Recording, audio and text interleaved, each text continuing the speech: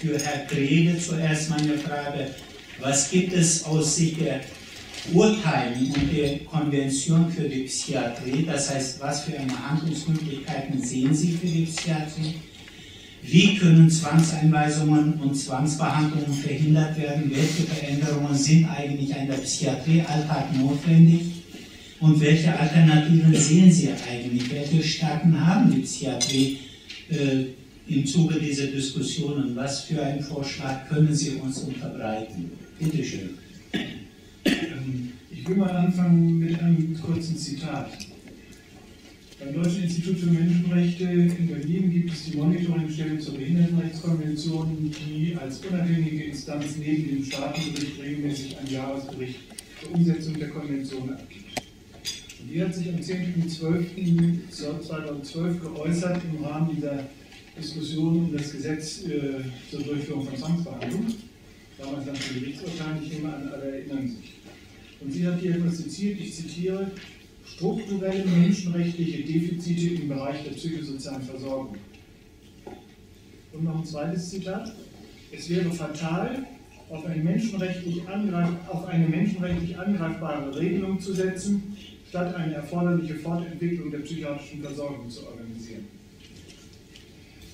Also das ist eine sehr zugespitzte Formulierung, aber es äh, beschreibt das, was ich aus meiner Praxis, ich arbeite ja nicht in einer Klinik, auch wenn wir eine kleine Tagesklinik haben, sondern ich arbeite vor Ort in der Gemeindepsychiatrie. Und ich erlebe jeden Tag, wie alle anderen, die dort arbeiten, wie unzureichend unsere Möglichkeiten sind, Menschen in schweren psychischen Krisen dort zu helfen. Mit umfassenden, leicht erreichbaren, jederzeit verfügbaren, ganzheitlichen, gut finanzierten Hilfen, die ausgeführt werden von gut qualifizierten Mitarbeitern. Das haben wir in weiten Strecken nicht. Und darum gibt es ein großes Problem, wenn in unserem Psychiatrie, was ja, glaube ich, noch zu den Besseren im Lande gehört, steht, wenn Eigengefährdung oder Fremdgefährdung vorliegt aufgrund einer psychischen Erkrankung, eine gegenwärtige Gefahr, und jetzt kommt die anders nicht abgewendet werden kann als durch die Unterbringung, dann sind wir immer in der Gefahr, zynisch zu werden. Nämlich, wenn es vor Ort nichts gibt, denke ich, es ist ja nicht anders abwendbar als durch die Unterbringung. Und da fand ich das, was das Deutsche Institut für Menschenrechte an dieser Stelle sagt, in dieser sehr zugespitzten Formulierung sehr hilfreich. Die Urteile zur Zwangsbehandlung ziehen den Rahmen mit überhaupt möglicher Zwangsbehandlung sehr eng, da komme ich gleich nochmal drauf zurück. Und die Behindertenrechtskonvention fordert, dass niemand in irgendeiner Form in seiner Freiheit stärker eingeschränkt werden soll aufgrund einer psychischen Behinderung oder irgendeiner Behinderung. Ich sehe das genauso wie das Institut. Daraus folgt ganz unmittelbar eine Verpflichtung für alle staatlichen Stellen, in ganz anderem Maße als bisher Einrichtungen vor Ort zu schaffen. Das ist mehrfach schon gesagt worden, auch von der Ministerin. Ich war sehr dankbar, das zu hören. Ähm, wir haben durchaus Ansätze, viele, in Deutschland wie auch international. Wir wissen, dass es hilft, wenn man einen Krisendienst hat, der rund um die Uhr erreichbar ist. Wenn also jeder, der in eine psychische Krise kommen könnte, weiß, wen er, an wen er sich wenden kann. Und dass auch jemand ist, zu dem man ein mindestens Maß an Vertrauen hat. Wir wissen auch, dass es hilft, wenn so ein Krisendienst aufsuchend arbeiten kann und wenn es Krisenbetten gibt. Wir wissen auch, dass es hilft, wenn die Mitarbeiter, die das tun, sich um Verstehen der Krise bemühen und nicht nur um Beseitigung der Symptome. Das alles wissen wir. Da fangen wir ja gar nicht von Das heißt, wir können jetzt daran gehen, das umzusetzen. Und wir haben Ansätze, die wir nur ausbauen müssen. Die will ich jetzt gar nicht alle aufzählen, sonst halte ich hier ein Chorreferat, das will ich ja gar nicht. Also das wäre meine erste Geschichte. Inwieweit sich das dann im Text eines äh, anderen Psychiaters niederschlägt, das weiß ich nicht genau. Aber es ist eine Verpflichtung des Bundes, des Landes, der Kommunen und aller freien Träger auch selbst, in dieser Hinsicht tätig zu werden. Das wäre meine erste und wichtigste Antwort. Was können wir tun, um zumindest in einem erheblichen Maße Zwangsmaßnahmen zu verhindern? Zweitens. Bei der letzten Psychiatrie-Novelle hat es eine längere Diskussion gegeben um den Facharztstandard bei der sofortigen Unterbringung. Etwas ausführlicher. Paragraph 14 Psychiatrie NRW regelt die Möglichkeit, dass jemand auch ohne Gerichtsbeschluss sofort untergebracht werden kann, wenn eine ganz dringende Gefahr abzuwenden ist. Und dazu ist ein fachärztliches Attest erforderlich. Nein, eben nicht. Ein ärztliches Attest erforderlich. Und das wurde in den Beratungen zu dieser Psychiatrie-Novelle runtergestuft von Facharztstandard über den zu in der Psychiatrie erfahrene Arzt und dann war es auch noch eine Sollvorschrift. Also ich bin Facharzt, ulkigerweise heute der Einzige, der hier offiziell als äh, Redner aufgerufen ist. Ich frage Sie, wenn für so eine schwerwiegende Entscheidung kein Facharzt erforderlich ist, wofür brauchen wir denn überhaupt psychiatrische Fachärzte? Wenn nicht,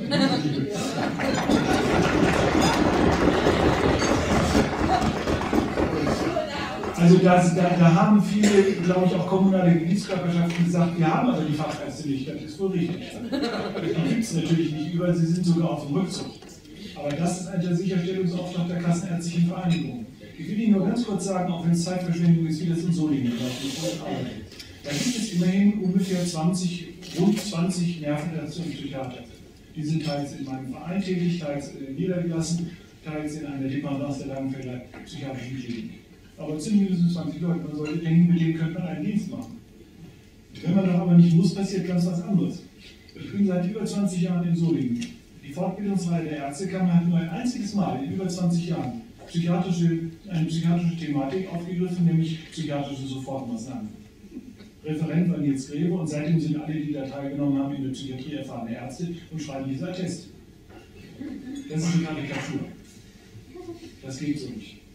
Und im Übrigen, das habe ich eben schon angedeutet, umfasst für mich Qualifizierung der Beteiligten auch die Situation, dass nicht ein Ordnungsamtsbeamter, der tagsüber ganz was anderes tut, in irgendeiner anderen Behörde sitzt und die Polizei gegebenenfalls und ein Allgemeinarzt oder Augenarzt, der von Psychiatrie so viel versteht wie ich von Augenheilkunde, dass die faktisch entscheiden, ob jemand in die Klinik muss.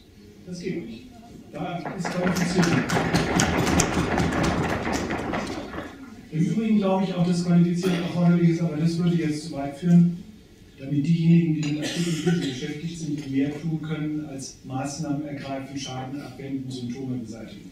Wir wissen aus internationalen und nationalen Vorbildern, dass wir psychotherapeutisches Verstehen um, was ist hier eigentlich los, wie geht es diesen Menschen, was auch der ganz individuell hilfreich ist.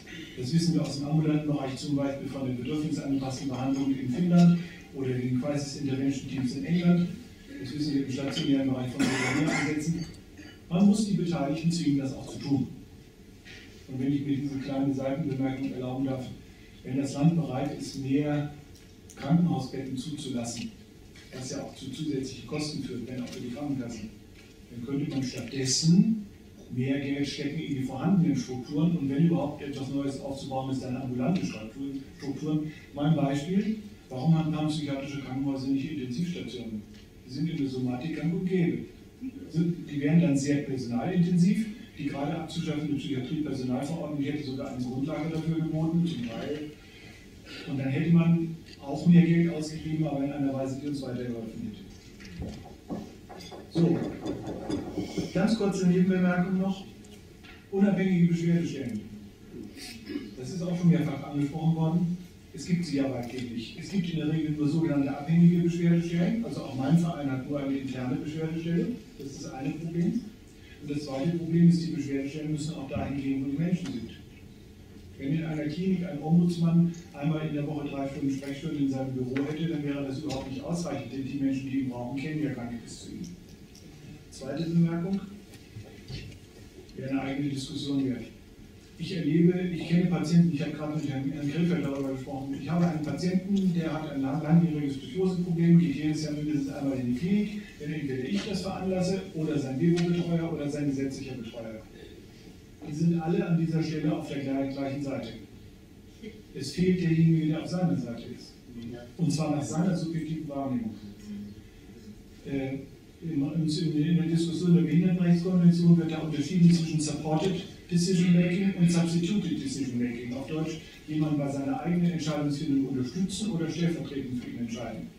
Das ist eine lange Diskussion, aber ich bin im Augenblick der Meinung, man müsste die Betreuer von allen Betreuungsaufgaben und von der ganzen hoheitlichen Seite entfernen, damit auch die Betroffenen Sicherheit darüber kriegen, dieser ist aus meiner Seite und hilft mir, meinen Willen durchzusetzen. Alles, was ansonsten gesagt wird über Patientenverfügung und über Behandlungsvereinbarung, ist das eine. Und noch eine Bemerkung. Im Augenblick ist ambulante Zwangsbehandlung, nee, ambulante nicht. Zwangsbehandlung meiner Kenntnis zu, äh, zugelassen unter der Rechtsfigur, dass damit die Entscheidungsfähigkeit des Betroffenen wiederhergestellt werden soll. Ich will das nicht von vornherein abstreiten, dass das in vielen Fällen möglich ist, aber mir sind auch eine Reihe von Fällen bekannt, wo zumindest diejenigen selber das genaue Gegenteil erleben. Es wurde eben schon mal erwähnt, ne, die Praxis, ich komme, wenn der Richter in die Klinik kommt, steht die Klinik schon unter Neuroleptiker und alles, was er am Vortag noch hätte durchsetzen wollen, ist ihm irgendwie entfallen. Ich glaube, wir müssen in dieser Diskussion, ich kann sie nicht auf einen einfachen Punkt bringen. Ich kenne auch Menschen, denen wahrscheinlich wirklich nicht anders zu helfen ist, aber ich glaube, es sind viel weniger als die, die im Moment dieser Praxis unterzogen werden. Und ich würde gerne schließen mit dem, was Professor Nahr gesagt hat. Wir müssen aufpassen, dass wir nicht in Gesetzen und auch in der Alltagspraxis so arbeiten, dass die, das, was eine Ausnahme sein sollte, zur Regel wird. Danke.